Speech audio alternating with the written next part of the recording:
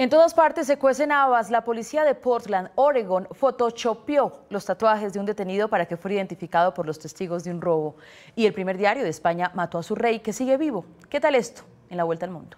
El periódico español El País publicó por error que el rey Juan Carlos de España había muerto luego del procedimiento quirúrgico al que había sido sometido por problemas cardíacos.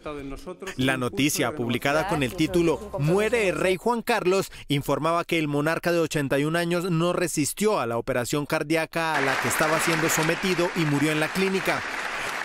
También, en otro de los apartes, el medio publicó que con su muerte también desaparecería la figura crucial de la historia española.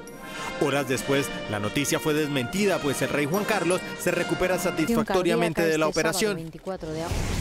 Luego de una serie de robos en diferentes bancos de Portland, Oregon, la policía capturó a un presunto sospechoso que sería presentado junto con otros cuatro para que testigos del asalto pudieran identificar el culpable. Según los videos de las cámaras de vigilancia de las financieras, había alguien entre los cinco capturados que tenía rasgos similares a los del asaltante, solo que el capturado tenía más de 10 tatuajes en su cara, lo que ninguno de los cajeros del banco que presenciaron los robos ni en los videos quedó registrado. En busca de resultados inmediatos, la policía decidió editar la fotografía y eliminar los tatuajes del rostro para que se pareciera más al verdadero ladrón. El fraude se descubrió seis meses después, cuando el capturado ya había pagado parte de la condena. Ahora la investigación apunta a todos los inocentes que han sido identificados en Portland, donde el editor se ha encargado de encontrar rápidamente a quienes más se parecen a los delincuentes.